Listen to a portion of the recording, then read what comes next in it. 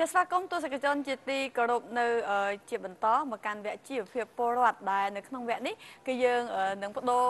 ទូនាទីលោកប្រាក់សម្ពោះពីវាគ្មិនមកជា ពិធីករអមជាមួយនឹងខ្ញុំវិញម្ដងចាសម្បូរតួអង្គម៉េះចាសម្បូរតួអង្គរីឯវាគ្មិនកិត្តិយសរបស់យើងកញ្ញាសេពើគឺគាត់អស់ភរៈត្រឹមវគ្គមុនហើយក៏ឲ្យក៏សូមគ្រប់លាទៅដល់ទស្សនិកជនអញ្ចឹងវគ្គនេះលោកសម្ពោះយើងក៏នឹងជជែកគ្នាទៅលើបញ្ហាច្រើនពីសំណាក់ប្រជាពលរដ្ឋយើងបន្ថែមវគ្គនេះដោយសារតែយើងចង់ឲ្យប្រជាពលរដ្ឋលោកដែលជួបប្រទះទៅនឹងបញ្ហាលំបាកហ្នឹងឲ្យលោកមានការចូលរួមច្រើនតាមរយៈ Night TV ដែលយើងដើរតួជាអ្នកនាំពាក្យនឹងទុកលំបាករបស់ប្រជាពលរដ្ឋទៅកាន់អាជ្ញាធរពាក់ព័ន្ធដោយអ្វីដែលយើងបានធ្វើកន្លងមកទៅលើបញ្ហាទឹកលិចអីអញ្ចឹងលោកសម្ភ័សចាអញ្ចឹងដើម្បីយើងអាចបន្តិចទៀតយើងអាចជជែកគ្នាបានលម្អិតទៅនេះខ្ញុំសូមអនុញ្ញាតបង្ហាញជូននៅលក្ខខណ្ឌនេះដើម្បីចូលរួមជាមួយនឹងកម្មវិធីរបស់យើងតាមរយៈប្រព័ន្ធទូទូឡាយបន្តិចសិនចាទស្សនិកជនអាចបង្កើតគណនី True Live ដោយគ្រាន់តែចូលទៅកាន់ App Store និង Play Store បន្ទាប់មកស្វែងរកពាក្យ True Live រួចហើយ download បន្ទាប់មក លោកអ្នកអាចបង្កើត account True Live ដោយចុចលើរូបស្រោមសមុទ្រនៅខាងស្ដាំបំផុតដែលបង្ហាញកន្លែង Sign In ជាប់ដំណើរទៅកាន់ Facebook ជាការស្រេចទស្សនិកជនអាចទស្សនាទូរទស្សន៍ Night TV ដោយគ្រាន់តែវាយលេខកូដ933ដើមសូមរងចាំចូលរួមចាប់យកបាំងប៉ៅដើម្បីទទួលបាន voting point សម្រាប់ប្រើប្រាស់បោះឆ្នោតទៅលើចម្លើយនៃប្រធានបទដែលលោកអ្នកពេញចិត្តក្នុងវគ្គនីមួយៗលោក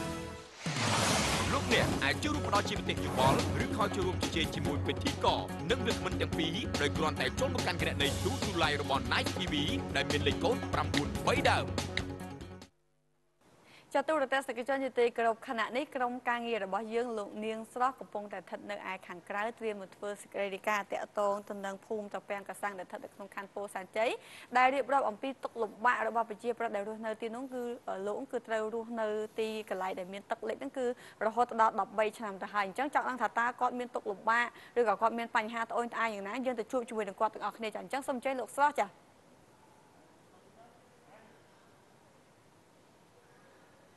បាទសូមអរគុណកញ្ញាសុខេងផងដែរបាទ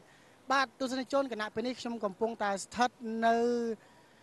បាទខ្ញុំកំពុងតែស្ថិតនៅភូមិតាពាំងកសាំងខណ្ឌពោធិ៍សិនជ័យហើយក្រៅពីនេះខ្ញុំកំពុងតែស្ថិតនៅលើផ្លូវមួយដែលមានតំបន់លិចទឹកនោះផងដែរបាទហើយតំបន់នេះគឺជាតំបន់មួយដែលជាក្តីបារម្ភរបស់ប្រជាពលរដ្ឋខ្លាំងមែនទែនដោយសារតែអឺពីមួយថ្ងៃទៅមួយថ្ងៃបើសិនតែពេលមានភ្លៀងធ្លាក់ខ្លាំងមកដោយទូអ្នកបាន ដឹងសាប់ហើយនេះគឺជាទស្សនវិជ្ជាមួយ ដែលមានទឹកភ្លៀងធ្លាក់ហើយដល់ពេលអញ្ចឹងទៅធ្វើឲ្យប្រជាពលរដ្ឋក៏ពិបាកនឹងការធ្វើដំណើរក៏ដូចជាជាពិសេសគឺកម្មករកម្មការិនីរោងចក្រដែលគាត់ធ្វើដំណើរនឹងការដើរធ្វើគាត់ផ្លូវវៀងដោយសារតែมันអាចធ្វើដំណើរឆ្លងកាត់នៅទីនេះផងដែរបាទហើយអឺមុននេះខ្ញុំបានតាក់សួររបស់ប្រជាពលរដ្ឋមួយចំនួនក៏បានលើកឡើងថាផ្លូវនេះគឺលិចមានការលំបាកជាយូរឆ្នាំណាស់មកហើយហើយ មិនទាន់មានអាជ្ញាធរណាមួយដែលគាត់មកអើពើក្នុងការជួយសម្របសម្រួលក៏ដូចជាជួយធ្វើឲ្យផ្លូវនេះកាន់តែល្អប្រសើរសម្រាប់ឲ្យប្រជាពលរដ្ឋគាត់ធ្វើដំណើរបានយ៉ាងរលូននោះផងដែរហើយអ្វីដែលជាគួរឲ្យកត់សម្គាល់ទៅទៀតគឺផ្លូវនេះដែលជាមូលហេតុចម្បង នៅក្នុងការដែលស្ទះក៏ដូចជាមានការលិចទឹកខ្លាំងគឺមកពីមូលហេតុគឺគ្មានប្រព័ន្ធលូណាមួយដែលឲ្យចរន្តទឹកឆ្លងកាត់គ្នាដូច្នេះហើយវាគឺជាកត្តាមួយដែល បណ្ដាលឲ្យមានការភុកជ្រាំក៏ដូចជាទឹកលិចនោះផងដែរបាទបាទអញ្ចឹងចង់ដឹងថាតើអារម្មណ៍ទស្សនិកជនក៏ដូចជាយ៉ាងម៉េចគាត់មានក្តីបារម្ភយ៉ាងម៉េចជួបជាមួយគាត់ដូចតើទៅផងដែរបាទបាទជំរាបសួរបងបាទបងបងសុំសួរមួយតាក់ទងនឹងជាមួយនឹងភូមិនេះបងគឺជាអាជីវករនៅក្នុងភូមិនេះឬយ៉ាងម៉េចដែរបងបាទបងខ្ញុំជាអាជីវករនៅក្នុងភូមិនេះអញ្ចឹងបងបងតាក់ទងជាមួយនឹងការលិចផ្លូវទាំងអស់នេះក្នុងនាមបងផ្ទាល់តើបងមានការពួយបារម្ភយ៉ាងម៉េចណាខ្លះជាមួយនឹងការលិចផ្លូវដែលធ្វើឲ្យបងពិបាកក្នុងការចិញ្ចឹមជីវិតក៏ដូចជាប្រកបមុខរបរផងដែរបាទបាទខ្ញុំមានព្រួយបារម្ភខ្លះដែរព្រោះខ្ញុំជាអាជីវករខ្ញុំលក់ដូររកស៊ីនៅនឹងពេលណាមានផ្លូវអញ្ចឹងវាមានកលុកដៅអីធំធំមានទឹកលិចជន់អីអញ្ចឹងទៅក៏អត់មានប្រជាពលរដ្ឋឆ្លងកាត់គឺខ្ញុំវាប៉ះពាល់ទៅដល់ការលក់ដូរខ្ញុំដែរវាអត់មានណាគេឆ្លងកាត់ទេគេវៀងទៅផ្លូវផ្សេងផ្សេង ចុះបងតាក់ទងជាមួយនឹងតាក់ទងជាមួយផ្លូវនេះតើយូរណាស់មកហើយឬក៏យ៉ាងម៉េចដែរបងពេលនេះបាទកាលពីឆ្នាំខ្ញុំមកវាចូលរយៈពេល2ឆ្នាំតែខ្ញុំមកពីរយៈមុនក៏វាមិនទាន់ជាដល់វាខូចខាតដែរក៏គាត់ថាវាមិនទាន់ធ្ងន់ធ្ងរដូចឆ្នាំនេះដល់ពេលឥឡូវមកដល់ឆ្នាំនេះគឺវាវាខូចខាតទាំងស្រុងតែម្ដង បាទគឺធ្ងន់ធ្ងរមែនតើគឺអណ្ដៅធំធំដោយអណ្ដៅយើងក៏បេពីដើមអញ្ចឹង បាទទៅជាបន្លាយទឹកអស់ហើយឥឡូវបាទបាទបាទបាទបាទបាទបាទបាទបាទអញ្ចឹងអឺបងមានសំណុំពរអ្វីបន្ថែមសម្រាប់ឲ្យអាជ្ញាធរគាត់ជួយធ្វើនេះបាទបាទខ្ញុំជាព្យាពលរដ្ឋខ្ញុំចង់សនំពរអឺដូចជាសម្ដេចនាយកឬក៏មានស្ថាប័នណាមួយដូចជួយអឺជួយស្នើស្នើសុំផ្លូវនឹងមួយផងព្រោះផ្លូវនឹងវាខូចអស់ហើយបាទមិនដឹងធ្វើម៉េចអរគុណច្រើនបងបាទបាទ បាទហើយអឺបន្តិចទៀតខ្ញុំនឹងបាននឹងនាំទស្សនិកជនទៅជួបជាមួយអ្នកដែលធ្វើដំណើរថាតើគាត់អឺមានការពួយបារម្ភយ៉ាងម៉េចដែរបាទបាទចឹងសូមអឺទៅជាមួយខ្ញុំផងដែរបាទបាទជំរាបសួរបងបាទបងបងអឺយ៉ាងម៉េចដែរបងពេលបងធ្វើដំណើរនៅឆ្លងកាត់ផ្លូវនេះតើបងមានជួបផលលំបាកអ្វីខ្លះបងបាទវាពិបាកដែរវាមានទឹកលិចហើយវាផ្លូវផុកអីចឹងខ្លះខ្លះចឹងណាវាពិបាកធ្វើដំណើរខ្លះដែរហ្នឹងចឹងបាទ បាទបាទបងគឺជាអ្នកដែលប្រជាពលរដ្ឋនៅក្នុងភូមិនឹងឬក៏យ៉ាងម៉េចដែរបងអត់ផងខ្ញុំធ្វើដំណើរទៅលេខផ្ទះបងនៅក្នុងបងអញ្ចឹងបានន័យថាឆ្លងកាត់ភូមិនេះគឺទៅភូមិមួយទៀតទេបងបាទទៅកន្លែងមុខកន្លែងមុខចាក់ផ្ទះបាបទងអញ្ជួចឹនងបងឃើញតាំងបងមកគឺសង្កេតឃើញផ្លូវនេះគឺមានការលំបាកខ្លាំងហើយបងវាលំបាកដែរបងវាពិបាកដែរវាក្លុកវាមានទឹកមានផុកអីចឹងណាបាទវាពិបាកជិះចឹងបាទបាទបាទអញ្ចឹងបងមានសំណុំពរអ្វីដើម្បីឲ្យអាជ្ញាធរឬក៏អឺសមាជិកដែលពាក់ព័ន្ធនឹងឲ្យគាត់អាចជួយសម្របសម្រួលផ្លូវនេះបានបងសូមបាទមិនចង់ឲ្យគាត់ធ្វើផ្លូវឲ្យស្អាតទៅជាពលរដ្ឋយើងស្រួលធ្វើដំណើរចឹងកុំឲ្យមាន លិចអីចឹងណាធ្វើស្អាតអីចឹងឲ្យវាស្រួលធ្វើដំណើរអស់គ្នាចឹងទៅបាទបាទបងបាទបាទអូខេបងអរគុណច្រើនណាស់បងណាបាទបាទបាទបងសំណាងអរបងបាទទស្សទូទស្សនិកជនទាំងអស់ដូចជាលោកនាងបានជ្រាបដឹងហើយគឺប្រជាពលរដ្ឋគាត់មានការបារម្ភខ្លាំងមែនទែនទាក់ទងជាមួយបញ្ហាផ្លូវនេះពីព្រោះផ្លូវនេះគឺជាផ្លូវមួយដែលគាត់តែងតែធ្វើដំណើរឆ្លងកាត់ក្នុងដែរបាទហើយដល់ពេលគាត់ធ្វើដំណើរមានការលំបាកទៅគាត់ពេលខ្លះគាត់អស់អារម្មណ៍ក្នុងការធ្វើមួយទៀតគឺគាត់អាច បើផ្លូវនេះលំបាកខ្លាំងមែនទែនដែលមិនអាចធ្វើដំណើរគឺគាត់វៀងផ្លូវទៅផ្លូវណាមួយទៀតបាទអឺយើងសូមបញ្ជាក់ទីតាំងម្ដងទៀតលោកសំផស្សទីតាំងដែលលោកនាងស្រស់លោកធ្វើសេចក្តីការមកហ្នឹងគឺពីភូមិអឺត្រពាំងកសាំងខណ្ឌពោធិ៍សែនជ័យរាជធានីភ្នំពេញនេះតែម្ដងបាទបាទនៅជាក្រុងបន្តិចកញ្ញាចាប់អារម្មណ៍អត់ចាប់អារម្មណ៍ពីរឿងស្ថានភាពផ្លូវប៉ុន្តែខ្ញុំសោកស្ដាយរឿងមួយមិនមែនត្រង់ថាអត់បានយើងអត់បានជួបអ្នកដែលចា៎ទទួលបន្ទុកភូមិហ្នឹងអូគឺយើងសំដៅយើងនឹងមានភូមិមានក្រុមការងាររបស់យើងនឹងព្យាយាមតាក់ទងអបន្តបន្តហ្នឹងទៀតអឺ បន្ថែមពីលើប្រជាប្រដ្ឋដែលជួបប្រទះទៅនឹងការលំបាកនិងអាជ្ញាធរដែលពាក់ព័ន្ធចាបាទដោយសារព្រោះមិនធម្មតាទេលោកសំផស្សអឺព្រោះ13ឆ្នាំបាទព្រោះរឿងនេះវាមកទស្សវត្សរ៍ជាងហើយអញ្ចឹងចា៎អឺយូរតទៅមែនតើថាមូលហេតុអីអញ្ចឹងប្រហែលជាយើងនឹងទទួលចម្លើយនៅពេលខាងមុខបាទក្រុមការងារយើងព្យាយាមបាទអើយលោកសំផស្សគិតថាអញ្ចេះបើសិនជាអឺករណីថាផ្ទះលោកសំផស្សស្ថិតនៅទីតាំងហ្នឹងលោកសំផស្សគិតថាតើអ លោកសំផស្សនឹងជួបប្រទះការលំបាកខ្លាំងកម្រិតណាដែរអឺចំពោះខ្ញុំប្រសិនបើផ្ទះនៅទីនោះគឺថាព្យាយាមព្យាយាមដំបូងព្យាយាមដោះស្រាយមិនមែនព្យាយាមលក់ផ្ទះដូរកន្លែងផ្សេងអឺអានឹងជំរឹះចុងក្រោយបាទបាទចាបាទជំរឹះអស់លទ្ធភាពមែនតើមានតែលក់ចា៎ចេញបាទហើយអើយលោកសំផស្សគិតថាអញ្ចេះត្រង់ចំណុចហ្នឹង បើយើងពឹងតែទៅលើអាជ្ញាធរមួយមុខលោកលោកសំផស្សគិតថាមានប្រសិទ្ធភាពបោះឬក៏យើងគួរតែមានការជួយជុំជ្រែងពីអឺខាងប្រជាប្រដ្ឋដែរឬក៏យ៉ាងម៉េចវាវាត្រូវតែទាំងអស់គ្នាបាទអឺចា៎ពីប្រជាពលរដ្ឋពាក់កណ្ដាលហើយអាជ្ញាធរក៏លោកក៏ត្រូវយកចិត្តទុកដាក់ពាក់កណ្ដាលដែរខៅចា៎បដិភិយ៉ាងហើយគឺយើងរួមគ្នាបដិភិអញ្ចឹងប៉ុន្តែបើផ្លូវនឹងធំពេកអឺនឹងជាកាតព្វកិច្ចរបស់រដ្ឋដែរថាត្រូវធ្វើយ៉ាងម៉េចបន្តទៅទៀតបាទយើងអាចទុំអញ្ចឹងបានខូចខូចផ្លូវ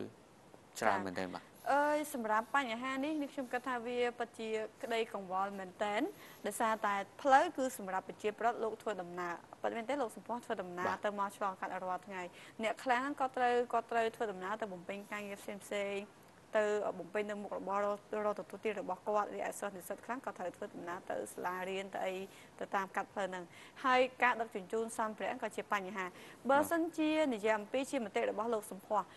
សម្រាប់ការស្ថាបនាផ្លូវនេះបើសិនជាយើងកណនិថាយើងមានផ្លូវស្អាតហើយអីហើយតើយើងគួរតែធ្វើយ៉ាងណាដើម្បីកុំឲ្យផ្លូវធ្លាក់ចូលទៅរបៀបហ្នឹងម្ដងទៀតអឺនឹងឥឡូវក្រុមការងារយើងភ្ជាប់ទៅទូតឡាយបានហើយចាំពេលបញ្ចប់ទូតឡាយមួយវគ្គចា៎សិនបាទបាទចាអញ្ចឹងអឺយើងអាចជួបជាមួយនឹងអឺទូទូឡាយពីសំណាក់វិជាប្រដ្ឋរបស់យើងដែលក្រុមការងាររបស់យើងបានភ្ជាប់ហើយចាអញ្ចឹងអឺសូមអញ្ជើញចាចាសូមអញ្ជើញចាអឺ យើងប្រហែលជាអាចនឹងមានបញ្ហារអាក់រអួលនៅក្នុងការបញ្ជូនរូបបន្តិចចាអូឥឡូវនេះក៏បានទទួលហើយចាអឺជំរាបសួរបងប្រុសជំរាបសួរបងប្អូនបាទបាទជំរាបសួរអឺបងប្រុសជាអ្នករស់នៅទីតាំងម្ដុំហ្នឹងអឺមែនទេបងចាអញ្ចឹងតើរាល់ថ្ងៃនៅក្នុងការរស់នៅជីវភាពរស់នៅប្រចាំថ្ងៃហ្នឹងបងជួបប្រទះទៅនឹងបញ្ហាលំបាកអីខ្លះនៅពេលដែលអឺស្ថានភាពទីតាំងនោះគឺលិចទឹកស្ទើរតែទាំងអស់បែបនេះអឺជួបបញ្ហាខ្លាំងដែរវាផ្លូវ ទី1វាផ្លូវអូឡានវាជីកឡើងចំកើតដែរហ្នឹងចាវាលិចលិចទឹកលិចអីផុតបាទអឺចាបាទកំណត់ផ្លូវនេះប្រហែលជាប្រមាណគីឡូបងកំណត់ផ្លូវដែលរងផលប៉ះពាល់ដោយសារតែទឹកហ្នឹងបាទជាប្រហែលជា1គីឡូអូបាទតែត្រឹមបាទ1គីឡូបាទ បងហើយអាចដឹងខ្លះទេថាតាមមូលហេតុអីបានជាទឹកហ្នឹងអឺលិចឲ្យទៅដក់ទៅជាកន្លែងហ្នឹងមិនព្រមហូរទៅណាតទៅសោះអញ្ចឹងវាអានេះ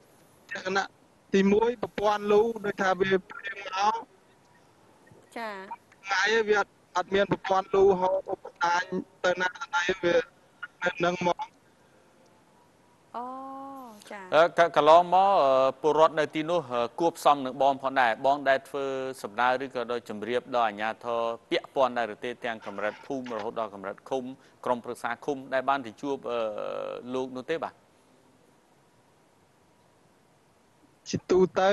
អឺអ្នកសារព័ត៌មានខ្លះដែលនិយាយតគ្នានេះថាគុំសង្កាត់គេអត់មកឃើញកូនថ្នាក់លើអីអត់ដែលសួរព័ត៌មានអីខ្លះណា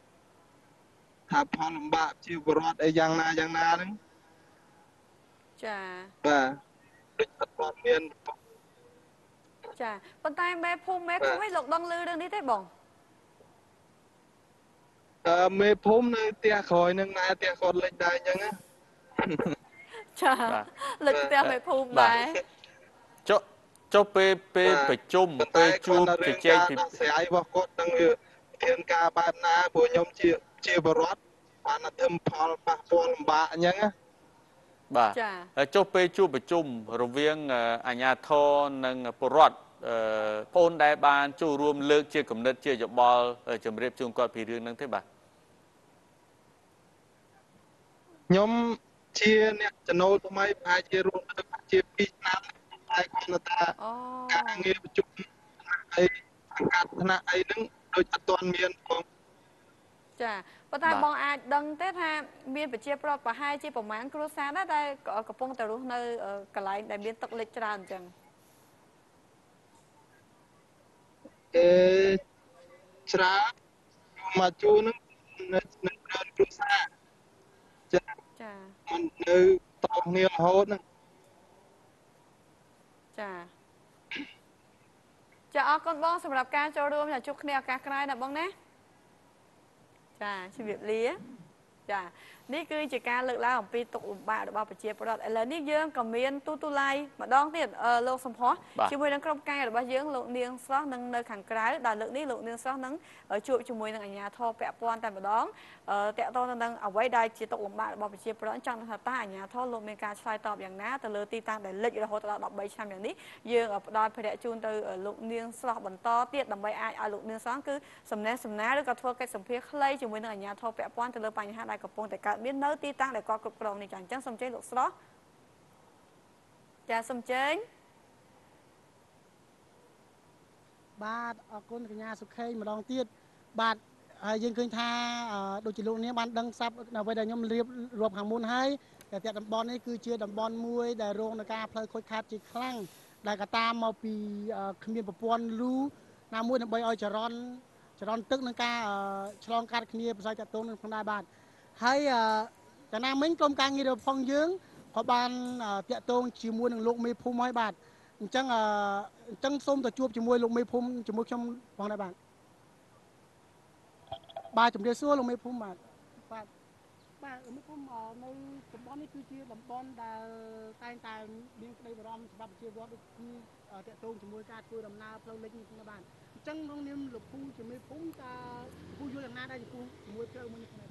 បាទ ការពិតវាផ្លូវនេះវាមានពាក់ព័ន្ធ3សកាត់វាមានអឺសកាត់កបលមួយជំហៀងនិងសកាត់ពាំងកសាំងហើយនិងចោមចៅមួយជំហៀងវាពាក់ព័ន្ធ3សកាត់អញ្ចឹងកន្លងមកដូចថាផ្លូវវា2ឆ្នាំ3ឆ្នាំនេះអត់សូវបានខូចខាតដល់ប៉ុណ្ណឹងទេតែដោយសារប្រជាពលរដ្ឋហ្នឹងគឺផ្ទះវាមានខឿនស្មើនឹងព្រំប្រទល់ខ្នល់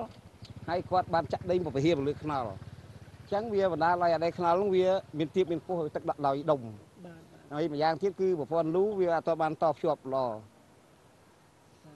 បាទលោកពូអញ្ចឹងតាក់ទងជាមួយផ្លូវនេះបើតាមប្រជាពលរដ្ឋដែលគាត់បានលើកឡើងថា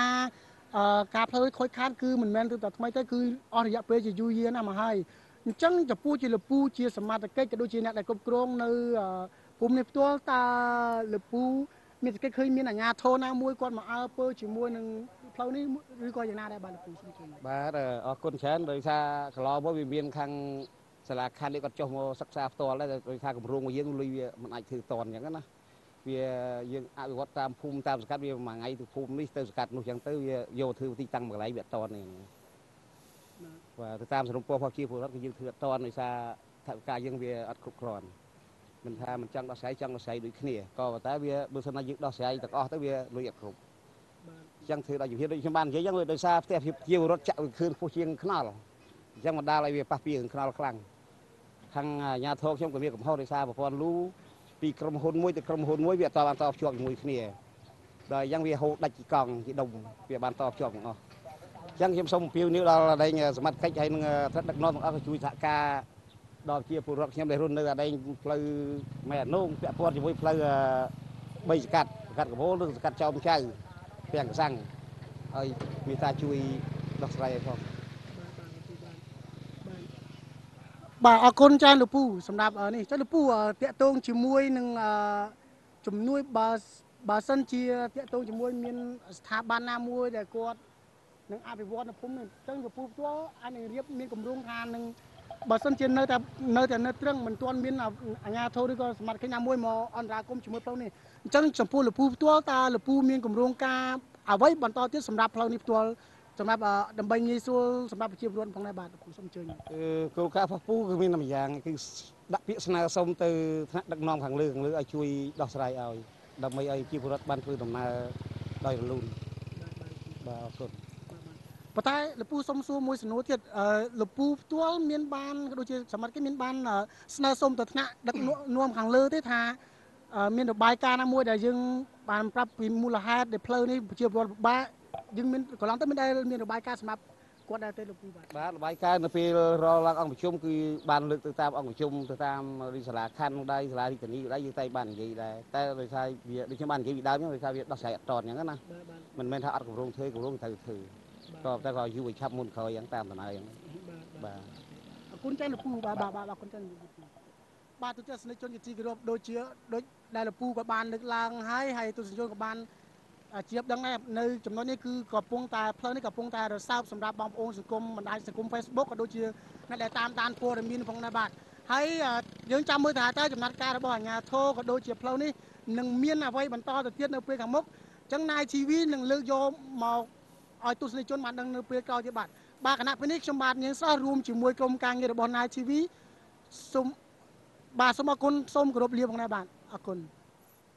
ចាអរគុណលោកនាងស្រស់អឺលោកសំភ័សនេះខ្ញុំចាប់បានត្រង់ចំណុចដែរលោកមេភូមិលោកនិយាយថាចេះកម្រងស្នើទៅហើយធ្វើកុំតែធ្វើទេគ្រាន់តែមុនហើយនឹងក្រោយយូរហើយនឹងឆាប់ហើយចុះបើប្រជាប្រដ្ឋកំពុងតែជួបប្រទះទៅនឹងការលំបាកអញ្ចឹងហើយតែយូរនឹងយូរប្រហែលឆ្នាំហើយបើឆាប់នឹងឆាប់ប្រហែលខែដែរខ្ញុំសង្កេតមើលឃើញ3បើតាមលោកមានប្រសាសន៍មិញ3សង្កាត់ចា ដែលដែលត្រូវពាក់ព័ន្ធកំផ្លូវពូមួយលខ្សែចំនេះចៅបាទនឹងតពាំងកសាំងនេះបាទបាទបាទហើយអឺចម្ងាយផ្លូវដូចជាជាង1គីឡូហើយចាហើយគាត់នៅខ្វះប្រាក់បដិភាគបើគាត់លើកឡើងមិញគាត់ថាបាទគាត់ថាប្រាក់អឺប្រាក់បដិភាគព្រោះតាមគោលការណ៍កន្លងមកគុំសង្កាត់ ដែលខ្ញុំធ្លាប់ចុះយកព័ត៌មានឃើញយ៉ាងដែរគឺថាត្រូវមានពលរដ្ឋយកចូលរួម50%ហើយសង្កាត់50%ប៉ុន្តែមិញស្រស់มันបានលំអិតសួរគាត់ថាតើធ្លាប់បានលើកអំពីប្រាក់បដិភាគនេះដែរឬទេបាទធ្លាប់បានជជែករឿងនៅអត់រវាងពលរដ្ឋខ្លួនឯងហ្នឹងជាមួយនឹងសង្កាត់ហ្នឹងថាយ៉ាងម៉េចព្រោះមានសង្កាត់រហូតដល់ទៅ3ចំណុចដែលយើងអាចមើលឃើញថាតើអាចជាការខ្ទាស់យ៉ាងម៉េចដោយសារផ្លូវហ្នឹងឆ្លងកាត់ដល់ទៅ3អញ្ចឹង គឺមានកំបូលចំចៅត្រពាំងក្រសាំងក៏យើងជួបទាំងអទាំង3ថាតើលោកមានយោបល់យ៉ាងម៉េចហើយមានដំណោះស្រាយម៉េចព្រោះរឿងនេះលោកមានប្រសាសន៍មិញហើយថានឹងគ្រោងបន្តទៅទៀតបាទមិនមែននៅអញ្ចឹងទេបាទគឺអឺត្រូវធ្វើបន្តទៅគាត់ទៅធ្វើជាជំហានជំហានมันអាចដូចអ្វីដែលយើងចង់បាននេះបាទចា ឥឡូវនេះយើងទៅជួបជាមួយនឹងប្រជាពលរដ្ឋមួយរូបទៀតដែលលោកគឺជាអាជីវករជាអ្នកលក់ដូរនៅទីតាំងហ្នឹងគឺគៀកទៅនឹងកន្លែងហ្នឹងវិញម្ដងអញ្ចឹងចង់ដឹងថាតើគាត់ជួបប្រទះទៅនឹងការលំបាកហ្នឹងខុសប្លែកយ៉ាងណាឬក៏ឬក៏ដូចគ្នាយ៉ាងណាជាមួយនឹងប្រជាប្រដ្ឋផ្សេងយើងអាចជួបជាមួយនឹងគាត់ដែរឲ្យជំរាបសួរបងស្រីជំរាបសួរបងអូនចាជំរាបសួរចាឲ្យយ៉ាងម៉េចហើយបងសម្រាប់ការរស់នៅទីនោះជួបប្រទះទៅនឹងការលំបាកខ្លាំងទេបងបបាក់ខ្លាំងបងព្រា មកព្រៀងមកអងមកមើលរេងកណ្ដាលចូលដល់ក្នុងចាហើយអឺស្ថានភាពដែលជួបបែបនេះហ្នឹងបងអឺជួបមកយូរហើយឬនៅឬក៏ទៅជួបថ្មីថ្មីនេះទេនិយាយទៅតាំងពីខ្ញុំទីដំណើរនៅកន្លែងនេះ2ឆ្នាំហើយគឺអត់តែខែភាសាអញ្ចឹងលេចរហូតចុះខែប្រាំងអត់លេចទេបងអ ខែអញ្ចឹងខែសម្រាប់ប្រាំងអត់លេចទេតែតែរយៈពេលតែប្រហែលខែវាពេលវាអត់លៀងណាចាអញ្ចឹងសម្រាប់អ្នកដែលគាត់ឈប់ទិញចាអីឲ្យតែវ៉ាន់ពេលអីនៅខាងមុខផ្ទះហ្នឹងពិបាកអត់បងចា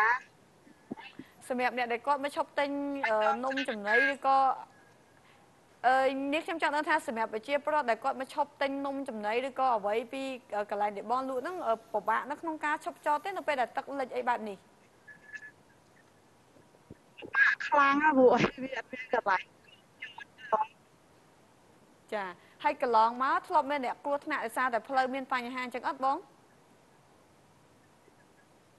កន្លងមកហ្នឹងដូចជាវាជួបអញ្ចឹងដែរមិនគាត់ថាវារៀងតិចចឹងណាតែឆ្នាំហ្នឹងចាហ្មងបាទ ចុះដល់ដល់ឡែកកុមារតូចតូចដែលចូលសាលាវិញបាទប្រហែលជាអាចនឹងអឺប្របាហើយបើតាមយើងមើលតាមសន្តិភាពជាក់ស្ដែងហើយចំពោះប្អូនវិញអឺប្អូនមានអឺកូនទៅរៀនហើយឆ្លងកាត់ហើយដប់ទៅមានការប្រឈមអីខ្លះដែរបាទគឺគាត់ទៅរៀនអត់ទាន់ម៉ោងដែរព្រោះអីវាផ្លូវពិបាកពេកស្ទះគឺកន្លែងហ្នឹងបាទអឺ បើតាមភូមិមេភូមិលោកលើកឡើងមិញខ្ញុំមិនបានស្គាល់ឈ្មោះលោកបាទហើយលោកលើកឡើងថាធ្លាប់ចុះមកមើលខាងលើបាទខាងលើគាត់គឺសំដៅទៅលើសង្កាត់ឬក៏យ៉ាងណាក៏មិនដឹងបាទធ្លាប់ចុះមកមើលប្អូនដែលបានចូលរួមអឺជជែកជាមួយអឺអស់លោកទាំងនោះដើម្បីជាការប្រឹក្សាយោបល់ក្នុងការចូលរួមចំណែកពីសំណាក់ពលរដ្ឋជាមួយនឹងអ្នកដែលពាក់ព័ន្ធពូលគឺអាជ្ញាធរដែរឬទេបាទ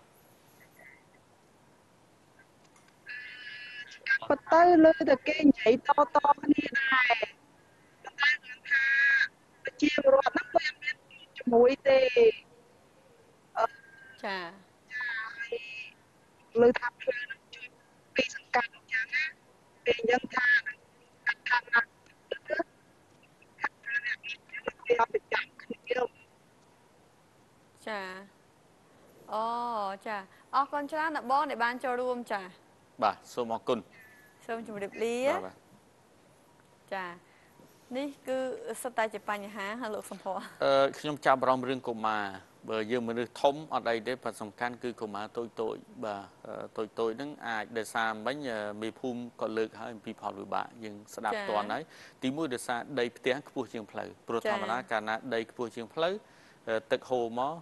វានៅផ្លូវហើយអត់ទៅណាបាទ ព្រោះដីវាទាបអឺថ្នល់វាទាបអញ្ចឹងថ្នល់ទៀបជាងផ្ទះបាទប៉ុន្តែខ្ញុំចាប់អារម្មណ៍មួយដែលលោកមានប្រសាសន៍មិញមិញប្រាប់ភ្នាក់ងារយើងដែលកំពុងចូលរាយការណ៍ហ្នឹងចា៎ថាលោកកំពុងជជែកហើយបាទគឺអឺ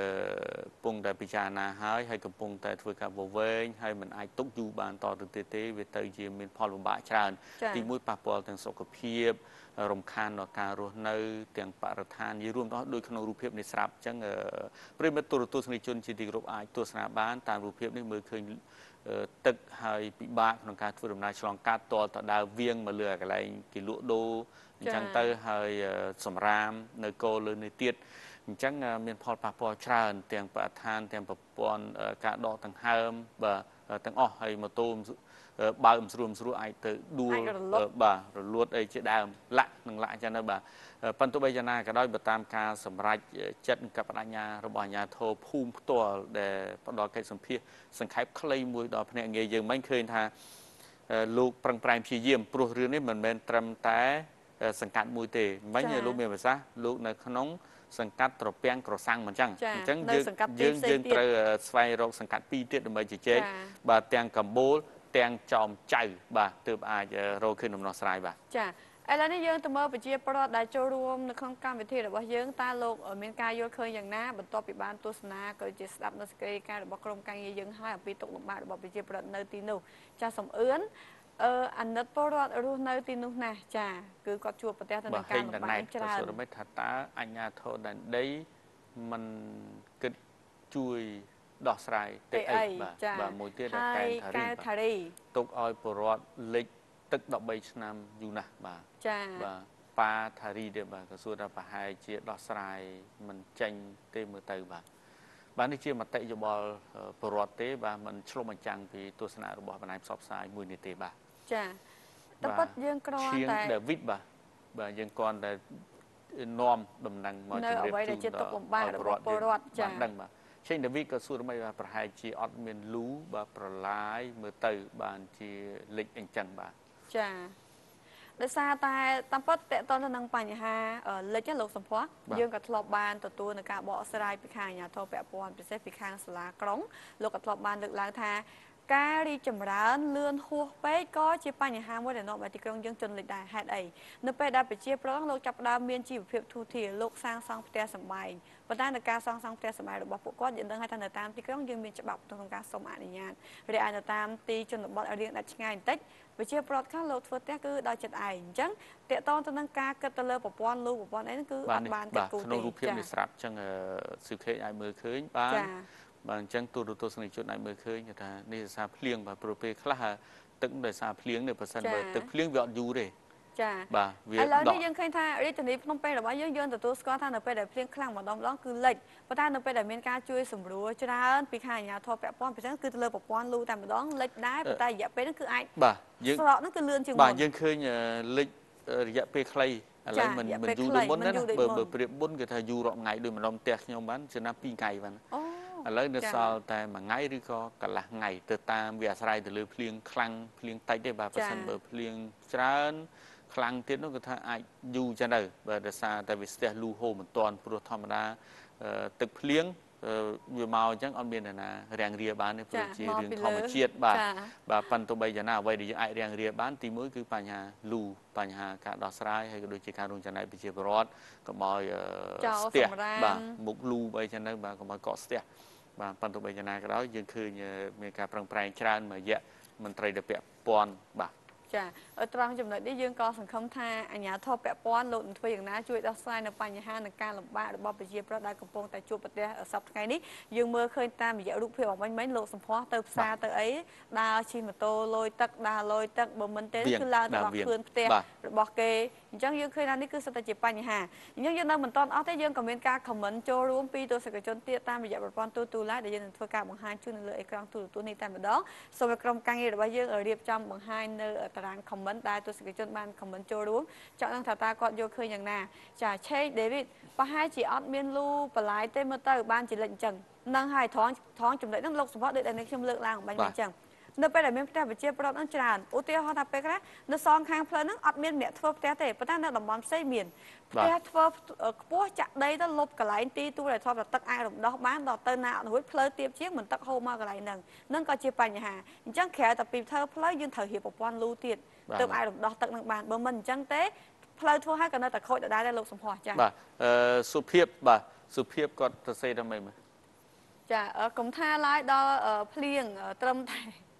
ចាត្រឹមស្អីបាទអឺត្រឹមតែនោមអ្នកភ្នំពេញហ្នឹងក៏អឺអឺដំណើរគ្នាក្នុងមួយពេលហ្នឹងក៏លិចដែរអឺលូក៏ហូរមិនតាន់ដែរចាហឹមបងហើយបងបាទចាគួងបញ្ញាបាទក៏សួររំបីឲ្យធ្វើម៉េចទៅអញ្ចឹងបាទចាបាទហើយអឺនេះវាសុទ្ធតែជាបញ្ហាអឺលីដាចា សូមអឺចវាយក្រុងថ្មីជួយអឺពលរដ្ឋផងយើងក៏សង្ឃឹមថាលោកនឹងបានទទួលព័ត៌មានតាមរយៈក្រុមការងាររបស់យើងបានចោះទៅដល់ផ្ទាល់ហើយពីអឺសម្ភារធ្វើយ៉ាងណាពីសំណាក់ប្រជាពលរដ្ឋដែលជួបប្រទះទៅនឹងការលំបាកសង្ឃឹមថាលោកក៏អាចនឹងព្រោះជួយបានបាទព្រោះពេលខ្លះភ្លៀងអាចជួយដែរណាបាទចា៎ជួយដែរជួយយ៉ាងម៉េចឲ្យកញ្ញាមានដឹងអត់ជួយអីចាគេអឺនេះខ្ញុំចាប់អារម្មណ៍ថាភ្លៀងជួយច្រើនចាណានឹង បើជួយយើងខ្លះនិយាយលេងជួយលាងផ្លូវចាបាទទីមួយអឺ